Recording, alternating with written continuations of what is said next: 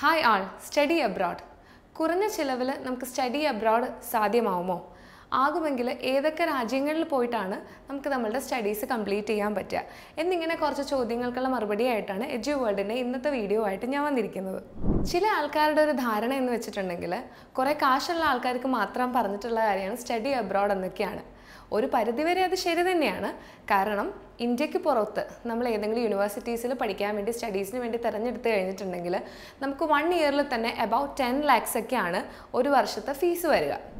ഉയർന്ന പഠന ചെലവ് കാരണം തന്നെ എല്ലാവരും മാസ്റ്റേഴ്സ് പ്രോഗ്രാമിന് വേണ്ടിയിട്ടാണ് പുറത്തേക്ക് മൈഗ്രേറ്റ് ചെയ്ത് പോകാറുള്ളത് കാരണം ഡിഗ്രി പ്രോഗ്രാം ആണെന്നുണ്ടെങ്കിൽ ഒരു ത്രീ ടു ഫോർ ഇയേഴ്സ് ഒക്കെ അത് വരും. മാസ്റ്റേഴ്സ് ആകുമ്പോൾ ഒരു ഒന്നര വർഷം അതല്ലെങ്കിൽ ഒരു രണ്ട് വർഷം വരെയൊക്കെയാണ് അതിന്റെ ഡ്യൂറേഷൻ വരിക. അപ്പോൾ അവിടുത്തെ ചിലവുകൾ അവിടുത്തെ ഡെയിലി എക്സ്പെൻസുകളൊക്കെ ഓർത്തിട്ട് എല്ലാവരും തന്നെ മാസ്റ്റേഴ്സിന് വേണ്ടിയിട്ടാണ് സ്റ്റഡി അബ്രോഡിന് വേണ്ടിയിട്ട് അന്വേഷിക്കുന്നത് തന്നെ. അപ്പോൾ ഇതിനൊക്കെ ഒരു പരിഹാരമുണ്ട്. ആ പരിഹാരമായിട്ടാണ് ഞാൻ ഈ വീഡിയോയിൽ വന്നിരിക്കുന്നത്. പ്ലസ് ടു കഴിഞ്ഞ അല്ലെങ്കിൽ ഡിഗ്രി കഴിഞ്ഞ ഏതൊരു കുട്ടിക്കും അവന്റെ അല്ലെങ്കിൽ അവളുടെ സ്ട്രീം അനുസരിച്ച് സെലക്ട് ചെയ്യാൻ പറ്റുന്ന ഒരുപാട് കോഴ്സസിനെ കുറിച്ച് അതുപോലെ തന്നെ സ്റ്റുഡന്റ് ഫ്രണ്ട്ലി ആയിട്ടുള്ള ഒരു രാജ്യത്തെ കൂടി പരിചയപ്പെടുത്താൻ വേണ്ടിയിട്ടാണ് എജു വേൾഡിന്റെ ഈ ഒരു വീഡിയോയിൽ ഞാൻ വന്നിരിക്കുന്നത്.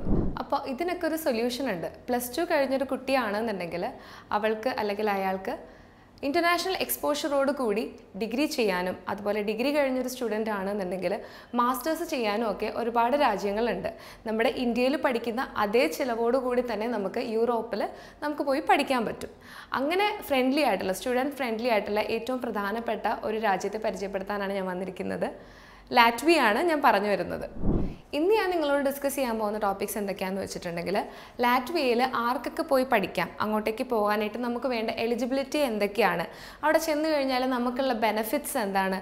നമ്മുടെ ജോലി സാധ്യത പഠനത്തോടൊപ്പം നമുക്ക് അവിടെ പാർട്ട് ടൈം ജോലി ചെയ്യാൻ പറ്റുമോ? ഇങ്ങനെയുള്ള കുറേ കാര്യങ്ങൾ നമുക്ക് ഡിസ്കസ് ചെയ്യാം. അപ്പോൾ ലാറ്റ്വിയ എന്ന കൺട്രി വഴി അവർ എന്റയർ യൂറോപ്പിലേക്കാണ് എന്റർ ചെയ്യുന്നത്. അവരുടെ ജോലി സാധ്യത അതുപോലെ പി ആർ സാധ്യത കമ്പാരിറ്റീവ്ലി അവർക്ക് വളരെ ഹൈ ആയിരിക്കും. കാരണം അവർ ഒരു രാജ്യത്തേക്ക് മാത്രം റെസ്ട്രിക്റ്റഡ് അല്ല. ഇനി ലാറ്റ്വിയയിൽ പോയിട്ട് എന്തെല്ലാം കോഴ്സസ് അവിടെ ചെന്നിട്ട് ചെയ്യാൻ പറ്റും? പ്ലസ് ടു കഴിഞ്ഞൊരു സ്റ്റുഡന്റിന് അല്ലെങ്കിൽ ഡിഗ്രി കഴിഞ്ഞൊരു സ്റ്റുഡന്റിന് ഹോസ്പിറ്റാലിറ്റി മാനേജ്മെന്റ് മെഡിക്കൽ എഞ്ചിനീയറിംഗ് എന്നീ ഫീൽഡുകളിൽ നിരവധി കോഴ്സുകൾ ലാറ്റ്വിയയിലും നമുക്ക് അവൈലബിൾ ആണ്.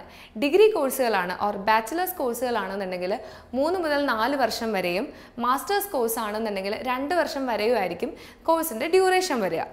ഇനി ഈ രണ്ട് വർഷത്തേക്ക് അല്ലെങ്കിൽ നമ്മൾ ബാച്ചിലേഴ്സ് കംപ്ലീറ്റ് ചെയ്യുന്ന നാല് വർഷത്തേക്ക് ഒരുപാട് പഠന ചിലവാകില്ലേ എന്നൊരു ചോദ്യം നമ്മുടെ മനസ്സിലുണ്ടാവും. ഇല്ല നമ്മുടെ ഇന്ത്യയിൽ ചിലവാക്കുന്ന ബാച്ചിലേഴ്സിന് വരുന്ന ഒരേപോലത്തെ ഫീസ് തന്നെയായിരിക്കും നമുക്ക് ലാറ്റ്വിയയിലും വരിക.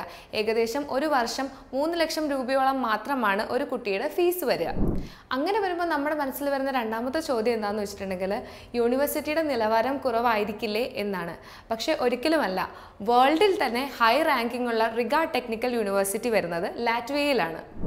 റിഗ ടെക്നിക്കൽ യൂണിവേഴ്സിറ്റി ഒരു ഗവൺമെന്റ് ഫണ്ടഡ് യൂണിവേഴ്സിറ്റി ആയതുകൊണ്ടാണ് സ്കോളർഷിപ്പ് ഫീൽഡിൽ തന്നെ കുട്ടികൾക്ക് പഠനം സാധ്യമാകുന്നത്.